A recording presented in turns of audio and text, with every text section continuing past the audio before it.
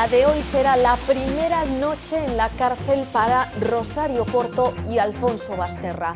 El juez ha decretado prisión incondicional sin fianza para los padres de Asunta. Les acusa de un delito de homicidio que podría cambiar en las próximas horas a otro de asesinato. La clave está en el informe toxicológico. Ante el magistrado, los dos han mantenido la misma versión de los hechos insisten en que no son los autores de la muerte de su hija. ¿Qué tal? Muy buenas noches. Un caso que sigue teniendo muchas incógnitas, pero que ya va arrojando algunas certezas. La Guardia Civil ha confirmado, por ejemplo, que el trozo de cuerda que fue localizado junto al cuerpo de la niña en una pista forestal es igual que los encontrados en la casa familiar de Teo. La madre ha reconocido que sí se desplazó hasta esa vivienda familiar la tarde del sábado, pero insiste en que lo hizo sola. La declaración de varias profesoras de Asunta ha abierto una nueva línea de investigación.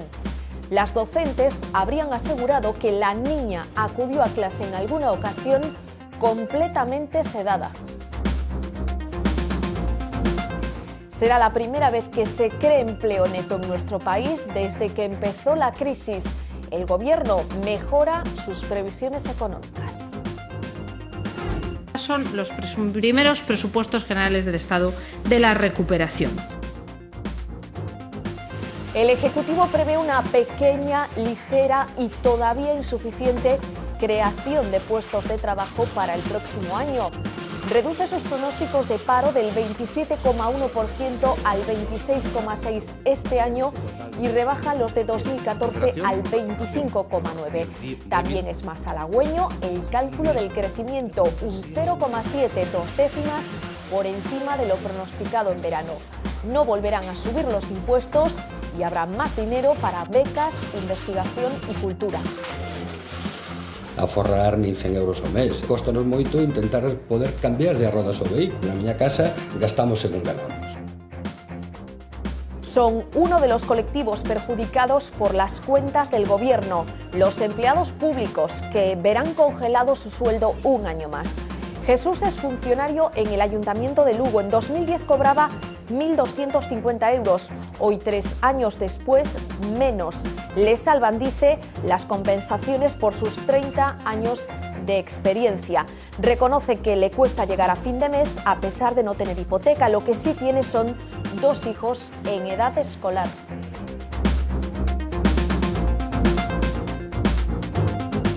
a las puertas de un fin de semana lluvioso, incluso en alerta naranja por precipitaciones en algunas zonas de Galicia, muchos vecinos miran al cielo. Xa non hai moito marisco desde o Prestige.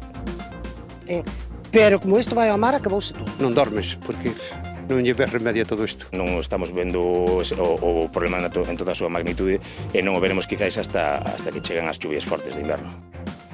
Dos semanas después de la tragedia, el Monte Pindo se prepara para la tormenta. Ni tomates ni árboles, aquí todo está muerto. Rezan para que los aguaceros no terminen por estropear del todo el pueblo que tanto aman. Para minimizar las consecuencias de las posibles riadas, los brigadistas han empezado a realizar tareas de limpieza.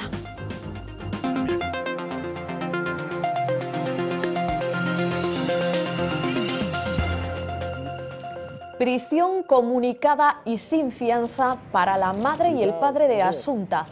El juez les imputa un delito de homicidio, pero con el resultado de los informes de tóxicos podría convertirse en una imputación por asesinato. Los dos han insistido en su declaración ante el juez que no tienen nada que ver con la muerte de su hija. A estas horas se disponen a pasar su primera noche entre rejas en la cárcel de Teixeiro. Por la mañana, en su declaración ante el juez Vázquez Taín, Rosario y Alfonso han mantenido en todo momento la misma versión. Claro que con algunas incongruencias, pero la misma. Después de ver las imágenes de las cámaras de seguridad, la madre ha reconocido que sí se desplazó hasta Teo, pero insiste en que fue sola. Los abogados de los dos progenitores han renunciado a su defensa. Es aún noche cerrada cuando este hombre, el juez Vázquez Taín, llega a los juzgados de Compostela. Diez minutos más tarde, bajo la lluvia, aparecen en fila tres turismos y un todoterreno de la Guardia Civil. En el tercer vehículo viaja Rosario. Son las 8 y 10 de la mañana. La madre viste la misma ropa que ayer. Parece serena y fuma un cigarrillo que en el momento previo a entrar en el edificio entrega a la mujer que la acompaña. Ya habrá amanecido cuando las cámaras capten este momento. Rosario escucha las palabras del juez con expresión compungida, la cabeza inclinada, y al responder, hablará entre sollozos, enfatizando su relato con el gesto de caer de espaldas, o inclinando de nuevo hacia adelante la cabeza, hasta que de repente Está dándose cuenta. percibe las cámaras y lentamente, con cierta teatralidad, se da la vuelta. Entonces alguien que por el atuendo podría ser el juez, corre las cortinas de la sala. A las 12 y 17 llegaba a los juzgados de Fontiñas Alfonso Basterra, el padre de la niña. Durante unas dos horas ha dado su versión de los hechos al juez Vázquez Taín, una versión que coincide punto por punto con la dada por su exmujer, Rosario. Incluso en las incongruencias horarias, lo que lleva a pensar a los investigadores que podría tratarse de un relato construido por la pareja. Por ejemplo, en lo referido al viaje a Teo, el magistrado le ha enseñado a Rosario las imágenes de las cámaras de seguridad que la grabaron yendo hacia Montouto. Ella ha insistido en que fue sola y que al volver fue cuando descubrió que Asunta no estaba en casa. Varios fotogramas evidenciarían que iban juntas. Para ambos esta será su primera noche en la cárcel de Teixeiro, los dos imputados por homicidio, pero dependiendo del examen toxicológico, esos cargos podrían ser de asesinato. Según el atestado policial, habría sido Alfonso el que compró los medicamentos con los que habría sido drogada Asunta, un genérico de diazepam, ansiolítico y sedante, el mismo que tomaba su madre. Otra prueba de cargo, la cuerda. La Guardia Civil ha confirmado que el trozo encontrado al lado del cadáver es igual que la localizada en la casa familiar de Teo. Los investigadores saben que la niña fue drogada y atada antes de ser asfixiada, seguramente con una almohada o un peluche. Las antenas de telefonía y la triangulación de los móviles de ambos progenitores podría dar otra pista clave para situarlos cerca de donde apareció el cuerpo de Asunta. La autopsia de la pequeña reveló que había sedantes en su cuerpo y eso llevó de inmediato a varias profesoras de Asunta a presentarse en comisaría. En su declaración, estas profesoras de música aseguraron que en varias ocasiones la niña llegó drogada a clase casi sin poder mantenerse despierta. En aquella ocasión, los padres les dijeron que se trataba de los efectos secundarios de una medicación para la alergia. A esta Academia de Música de Santiago acudía Asunta. Dos de sus profesoras aportan un importante dato a la investigación. El 16 de julio la niña la llevó a clase su padre. En el centro apreciaron que parecía drogada. Torpe al andar, se le cerraban los párpados. Al recuperarse, Asunta dijo que su madre le daba pastillas. Al pedir explicaciones a la persona que fue a recogerla, esta les dijo que como padecía asma, podía ser de la medicación. La muerte de Asunta y la detención de sus padres llevó a las profesoras a la Guardia Civil. Que no era una menor cualquiera se ve en su blog. Eligió una plantilla de película de suspense para hablar de espíritus en los parques de Santiago. Lo abrió con 11 años una semana antes de morir su abuelo. Su única historia, la de una familia con una niña. La mujer muere asesinada y el autor mata también al esposo. Asunta, la jefa de los cazafantasmas, se sienta en un banco en el que tal vez hay algún espíritu. Sobre el caso Asunta se le ha preguntado esta tarde al delegado del Gobierno en Galicia. Samuel Juárez no puede dar datos de la investigación, pero asegura que se están acelerando al máximo las pruebas periciales pendientes. Se está practicando as probas periciais o máis rapidamente posible para tratar de eh, ter todos os resultados o antes posible para que o caso se poida pechar canto antes, pero desde logo hasta que se estén as probas eh, eh, resoltas e hasta que teñamos todos, todas as eh, analíticas e demais probas de policía científica pendientes, pois eh, probablemente non se poida aportar nada máis. A la espera de cualquier decisión judicial, parece que la calle ya ha emitido su veredicto. Sin haber pasado por juicio, Rosario Porto y Alfonso Basterra ya se habían incorporado a la nómina de presuntos asesinos mediáticos, una lista que incluye nombres como José Bretón o Miguel Carcaño. La calle ya les ha mostrado su repulsa.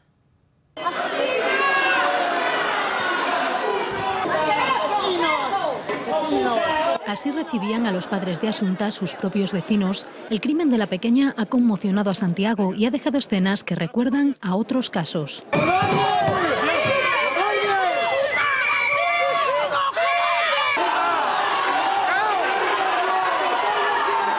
Las muertes violentas, especialmente de menores, producen fuertes reacciones en las comunidades a las que pertenecían las víctimas, reacciones que pueden rozar la agresividad. ¡No lo defienda! ¡No lo defienda! Cuando algo así ocurre, eh, todo el mundo mm, vive un poco de ansiedad y estamos hablando de personas que se, supuestamente apreciábamos antes ¿no? y conocíamos y de repente esto nos enseña que hay un lado oscuro que no habíamos podido predecir. Es una reacción de rabia contra todo eso que puede amenazarnos desde dentro o desde fuera. Más allá de la rabia y la condena, el morbo también está presente. Obviamente hay parte de morbo, la multitud, ¿no? grabando lo que está ocurriendo, porque hay cierta adrenalina que se genera cuando una persona está eh, también eh, participando en este tipo de, de manifestaciones colectivas. Los sucesos mortales no son los únicos que despiertan ese morbo. El recibimiento a Iñaki Urdangarín en los juzgados o las imágenes de Isabel Pantoja rodeada a su salida del juicio por el caso Malaya lo dejan claro. ETA quiere una reconciliación, pero no piensa renegar de su trayectoria de lucha armada. Es el principal mensaje de un comunicado que mañana publicará íntegro el diario Gara. La banda terrorista quiere restañar heridas con un proceso de reconciliación nacional, pero no renunciará a su pasado, es decir, no va a pedir perdón. Dice la organización que no puede asumir lo que llama el relato de los opresores. En el avance del comunicado también aboga por iniciar un proceso como pueblo para avanzar hacia la paz y también hacia la soberanía. La defensa de los integrantes de Resistencia Galega recurrirá la sentencia condenatoria. Asegura que se vulneraron derechos fundamentales durante el juicio. El padre de uno de los condenados habla incluso de una estrategia política para intentar desviar la atención de los ciudadanos. Abogados de la defensa, peritos y familiares, incluso una de las procesadas, acudieron a la rueda de prensa.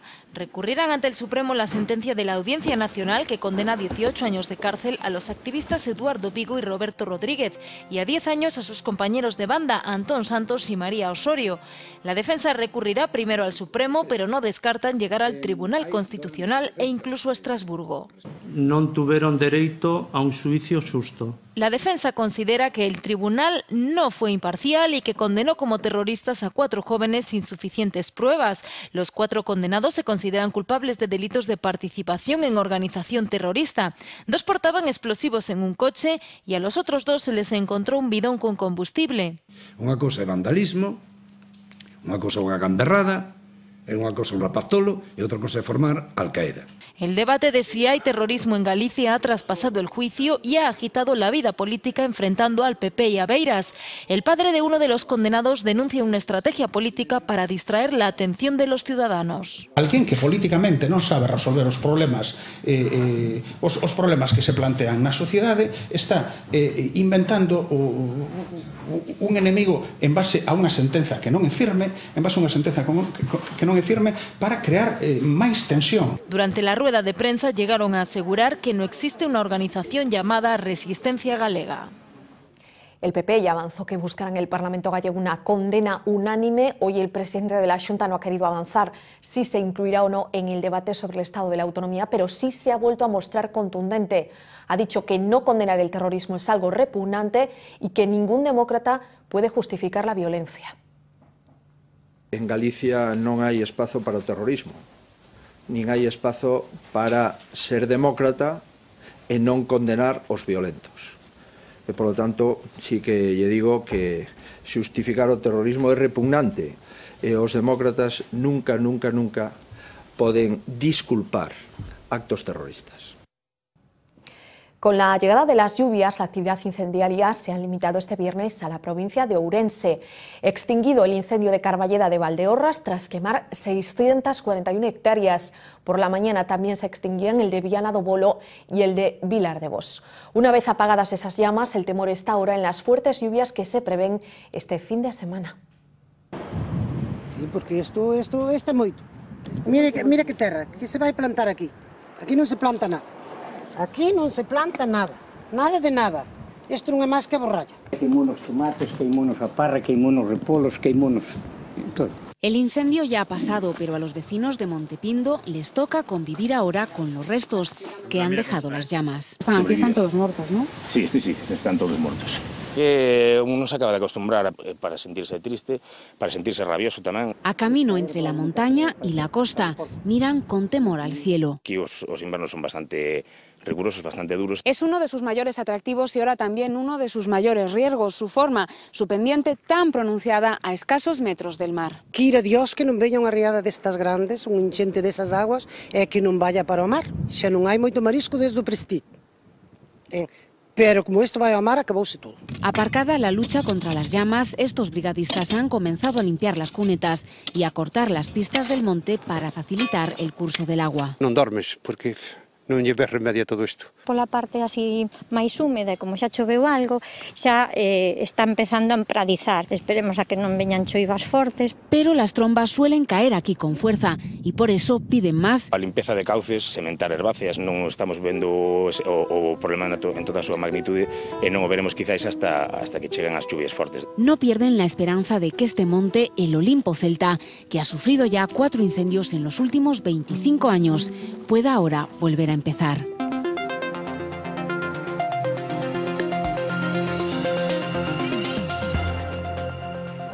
Son las previsiones económicas del Gobierno para los próximos meses mejor de lo previsto, aunque tampoco sean cifras para lanzar cohetes.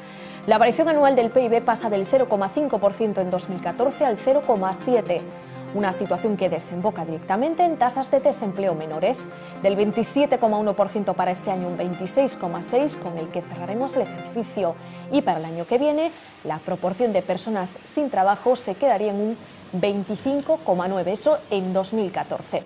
En 2014, según el Ejecutivo, la primera creación de empleo de la crisis.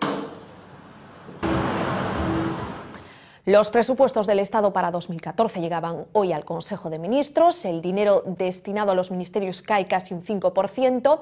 Las principales partidas serán para investigación, becas, cultura y vivienda. No habrá subidas de impuestos y se congelarán los salarios de los funcionarios. Solo han pasado cinco meses entre la imagen de aquel viernes negro de los ajustes en Moncloa y esta otra en la que el ministro de Economía sella sus labios, pero esboza una sonrisa. Al gobierno se le nota más tranquilo. Hoy es una cosa el día que aprueban los presupuestos del Estado. Son los primeros presupuestos generales del Estado de la recuperación. Vamos a crecer, veníamos de un crecimiento negativo, sabíamos que pasaríamos al signo positivo, pero el Gobierno lo corrige al alza. 0,7 de crecimiento y hoy palabras de agradecimiento a los que seguirán con los sueldos congelados. A los propios funcionarios públicos, sin los que no estaríamos hablando de la pronta recuperación de España. Y el paro, lo que más importa, revisión a la baja en lo que queda de año y ocho décimas menos en 2014. El año que viene, en términos de EPA, nuestra proyección es que habrá creación neta de empleo. Próximo año vendrá con más dinero para becas, para la investigación y para la cultura. Los bolsillos agradecerán también el anuncio. No vuelven a subir los impuestos, aunque tampoco los bajan. Son uno de los colectivos víctimas de esos ajustes del Gobierno, los empleados públicos que verán congelados sus salarios por cuarto año consecutivo. Hemos hablado con Jesús, un funcionario que trabaja en el Ayuntamiento de Lugo.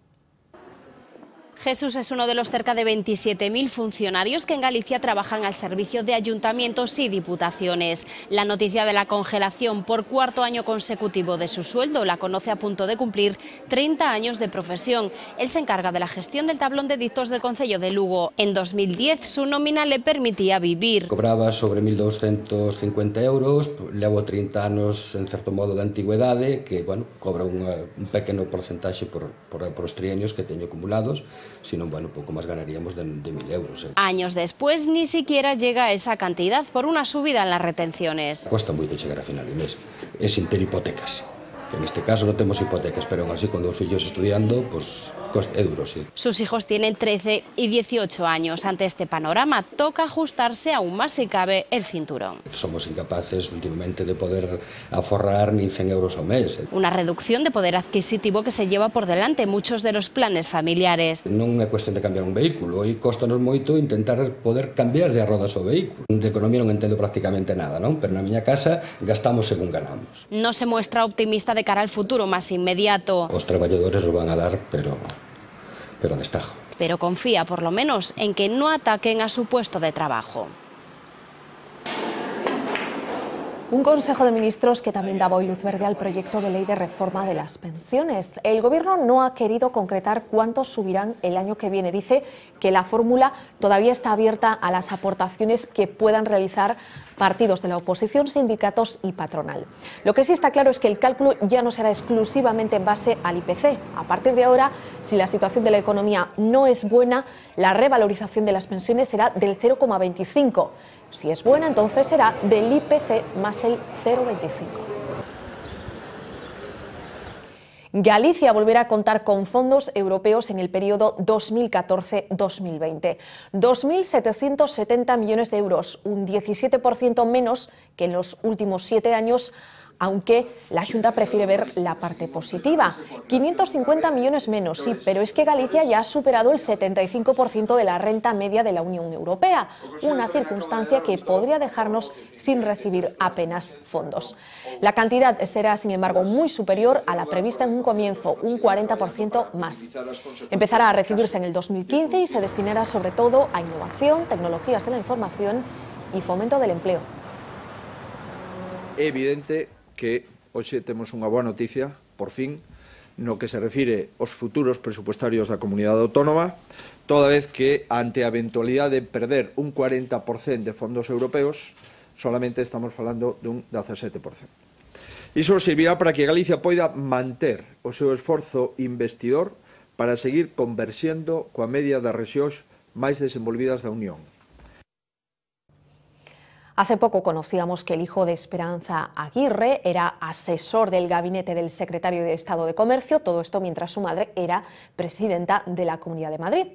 Parece que lejos de ser el único caso, en el PP es habitual esta práctica. La hija de Zaplana o la ex mujer de Rato también ocupan puestos de responsabilidad. Esta que ven es Beatriz de Guindos, sobrina del ministro de Economía, recién nombrada directora general de competencia en la CNMV. Según su tío, que vio la noticia por la prensa, el gobierno no ha tenido nada que ver. Y la hija de Miguel Arias Cañete, Micaela Arias, que ocupará la vacante que deja la anterior, o sea, será la segunda de a bordo. La última hora nos ha llegado en forma de dimisión sorprendente. Beatriz de Guindos renuncia al puesto.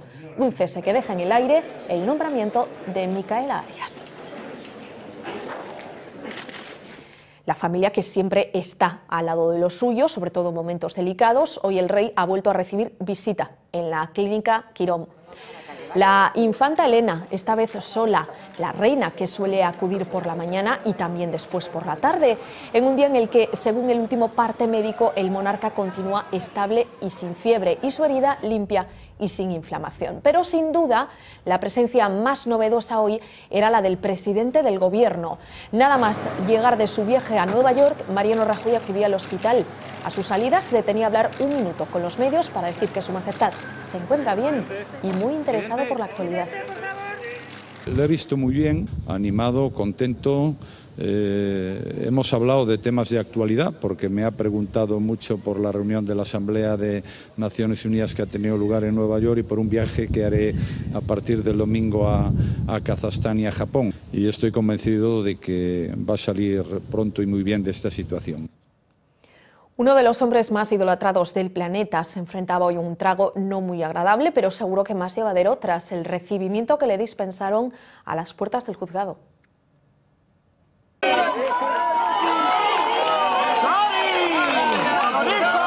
Auténtico baño de masas el que se dio un Leo Messi sonriente, aunque entre sus gritos también pudimos escuchar algún chorizo o ladrón aislado. Acudía a declarar por un caso de presunto fraude fiscal, 4 millones de euros que no declaró a Hacienda. También ha estado su padre, igualmente imputado. Este ha exculpado a su hijo y se ha responsabilizado de todo, diciendo que el jugador era ajeno a la gestión de sus derechos de imagen y que tampoco sabía de cuestiones tributarias. Seguimos muy pendientes de cualquier avance que se pueda producir en la investigación del caso Asunta. Se lo decíamos antes, a media tarde Rosario Porto y Alfonso Basterra ingresaban en la cárcel de Teixeiro, a donde llegaban en el mismo furgón. En ese lugar, en Teixeiro, está Lois Balado. Resúmenos, Lois, han trascendido algunos detalles de la declaración ante el juez. Hola, buenas noches. Pues eh, los nuevos datos que vamos conociendo apuntan a que Rosario Porto sí se habría desplazado hasta el municipio de Teo el día del crimen, algo que no figuraba inicialmente en la versión de los hechos. En la declaración de esta mañana ante el juez Vázquez Taín, ambos acusados han vuelto a negar su responsabilidad y han mantenido la misma versión de los hechos, incurriendo incluso en los mismos errores, algo que ha hecho sospechar a los investigadores de que pueda tratarse de una coartada previamente elaborada. Ha sido a media tarde cuando ingresaban en esta prisión provincial de Teixeiro, lo hacían en el mismo furgón y en régimen de, prisión comunicada y eh, sin fianza. A ambos se les imputa un delito de homicidio que a la espera de las pruebas toxicológicas podría derivar en asesinato. Destacar además que los abogados del padre y de la madre han renunciado a su defensa, esgrimiendo lo que ellos han denominado como motivos técnicos, aunque sí han estado presentes en la declaración de esta mañana.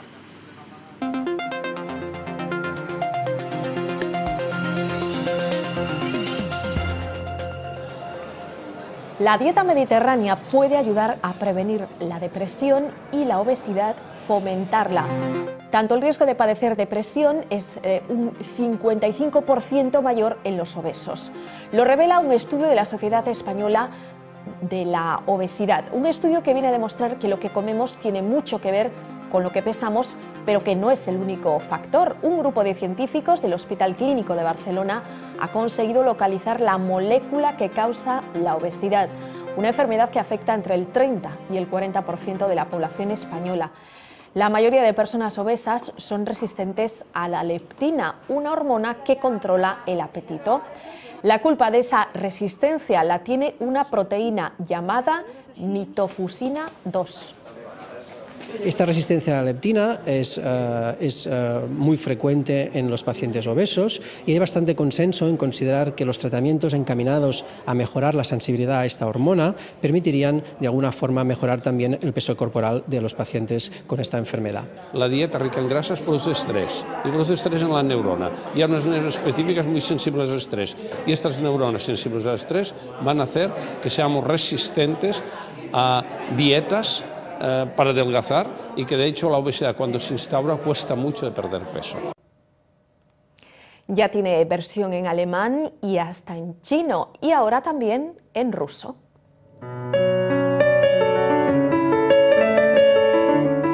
Una de las obras maestras de nuestra poetisa más internacional acaba de ser traducida a la lengua eslava Cantares Gallegos de Rosalía de Castro se acerca al público del Este gracias al trabajo de Elena Cernova, la primera traductora de la literatura gallega al ruso.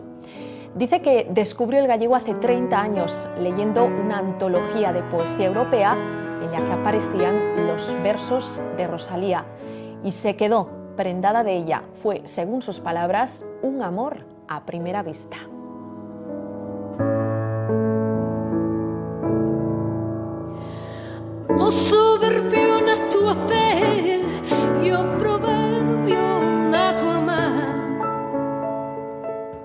Nos marchamos ya, se quedan con Historias del Tiempo y justo después estrenamos hoy en V Televisión La Otra Vía. No se lo pierdan. Hasta lunes.